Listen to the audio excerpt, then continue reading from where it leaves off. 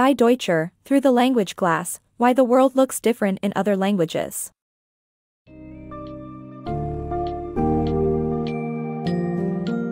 Embark on an enlightening journey with a Through the Language Glass Why the World Looks Different in Other Languages by Guy Deutscher, as we explore the captivating intersection of language, culture, and perception.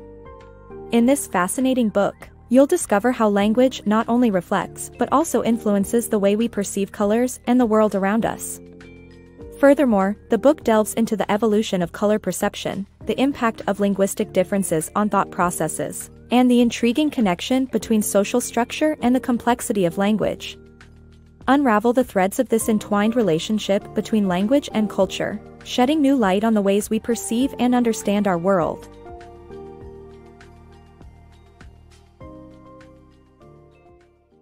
Color perception in ancient Greece.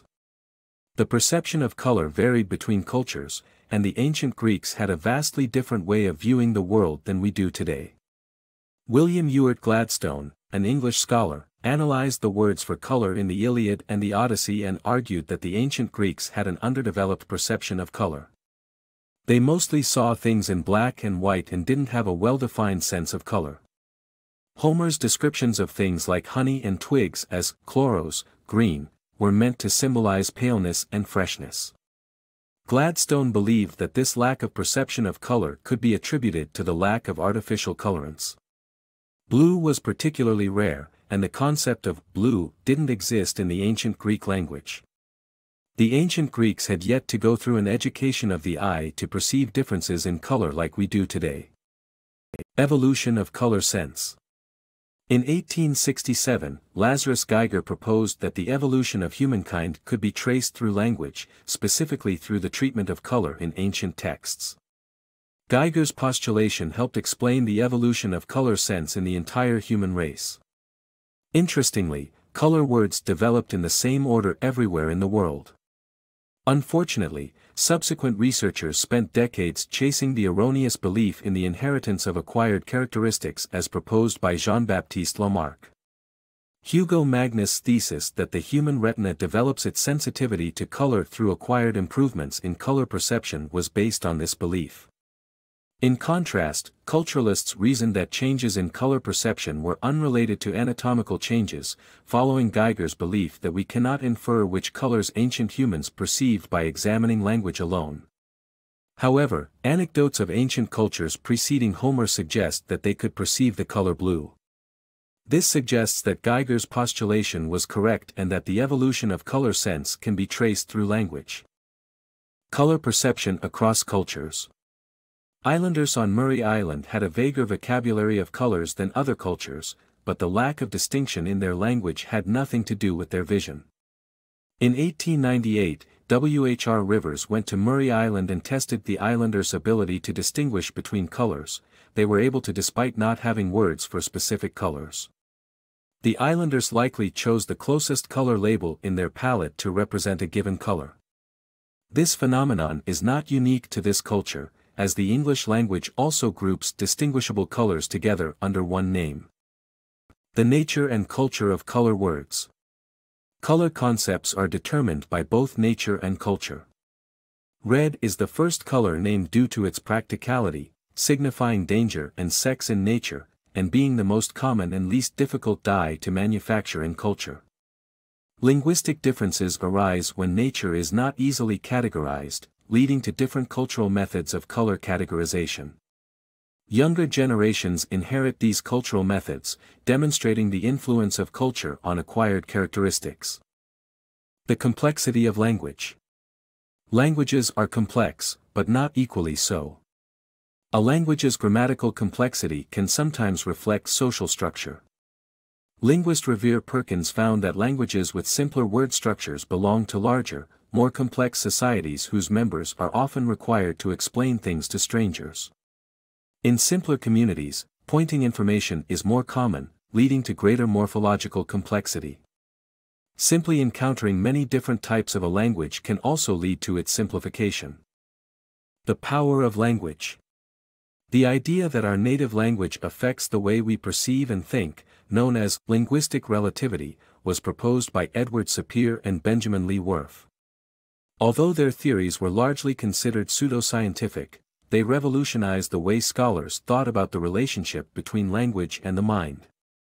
While differences in grammar can point to differences in perception, it doesn't mean that speakers' experiences and perceptions are entirely different.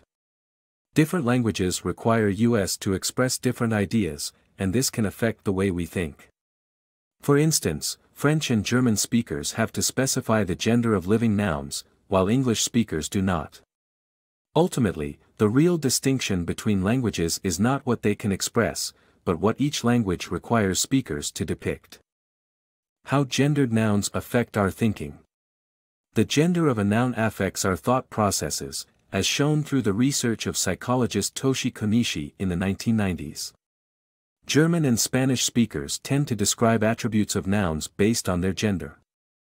This was further demonstrated in an experiment by Lera Boroditsky and Lauren Schmidt, which revealed that the gender of inanimate object names affects our ability to remember them.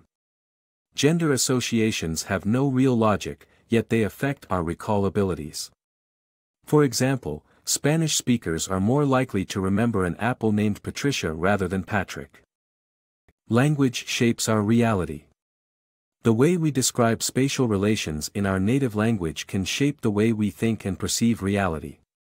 This is exemplified by the Guugu Yimithirr Aboriginal language in Australia, which uses compass marks instead of egocentric coordinates, left and right, to describe spatial relationships. Unlike us, they don't think in terms of their body or vision. Speakers of different languages with different systems for spatial relations will view the same reality differently.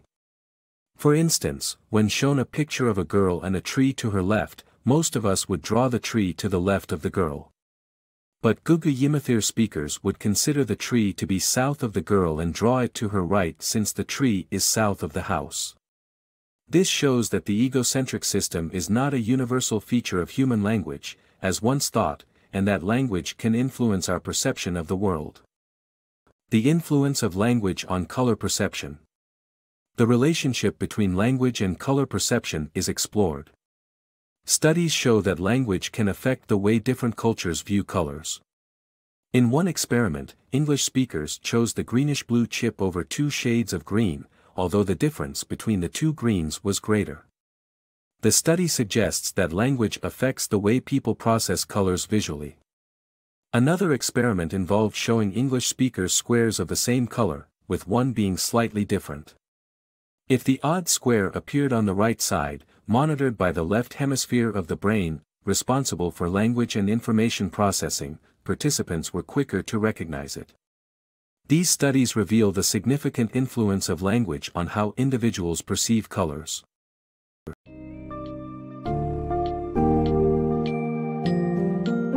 Through the language glass presents a wholesome understanding of the inextricable connections between language, culture, and human perception.